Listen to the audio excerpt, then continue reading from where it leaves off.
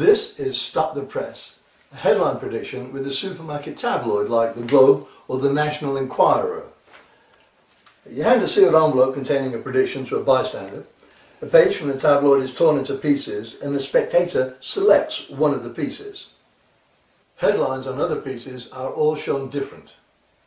Uh, the headline on that would have been like your personal horoscope or strange but true, right? Mm-hmm. If you'd have done one less, uh, we would have had a, a, headline that says evil twin or something there like that.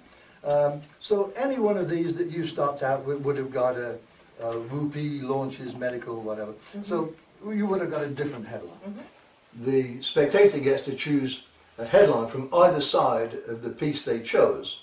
Uh, you then open up your prediction and it's found to be correct. Would you pick a headline from either side of that piece and read it aloud for everyone to hear? Kelly's custody battle gets nasty.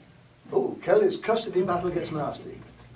And my prediction was Kelly's custody battle. so it's a great audience participation piece and an excellent source of topical humour.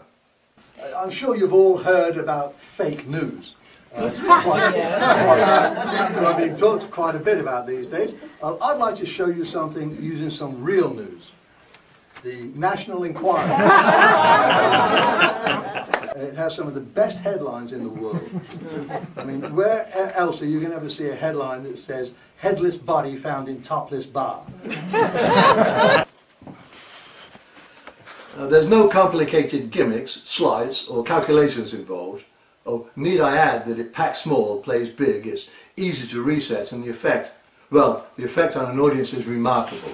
Al Koran closed with it, and it's been in uh, programs of such notables as Dunninger, David Berglas, and even Max Maven.